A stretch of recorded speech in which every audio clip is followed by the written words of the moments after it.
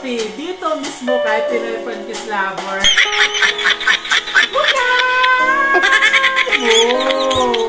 Alam niyo guys, sa panahon ngayon, sahig na lang talaga ang sasalo sa'yo pag ikaw ay naman, diba?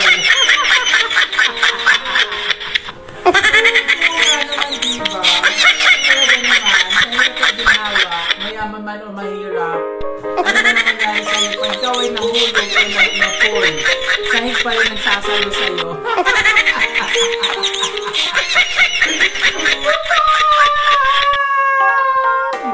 Kayo guys, pag kayo ay sobrang nasaktan sa pagkahulog sa sahig dahil na-fall kayo ng bongga-bongga sa mga, mga minamahal.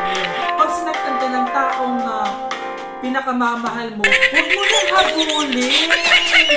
Maglakad ka na. Maglakad ka na lang papunta sa akin.